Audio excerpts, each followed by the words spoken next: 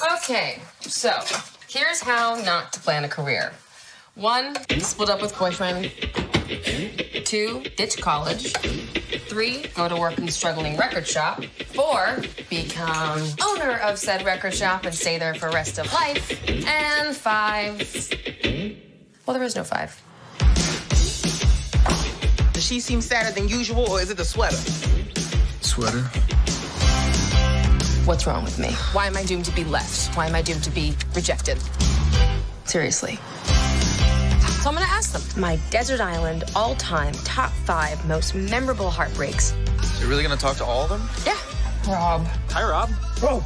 Surprise. You could be a bit obsessive. And a little too in touch with your feelings. Let's work it out! You know, she told me I was obsessive and too in touch with my feelings.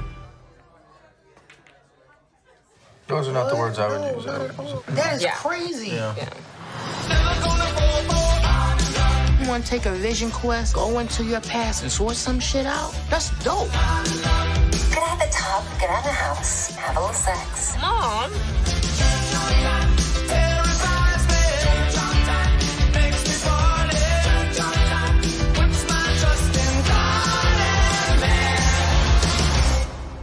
Keep listening.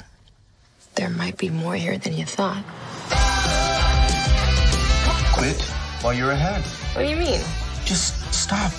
Quit before you get to the one that broke your heart. Nope, I'm doing it. Okay, sure.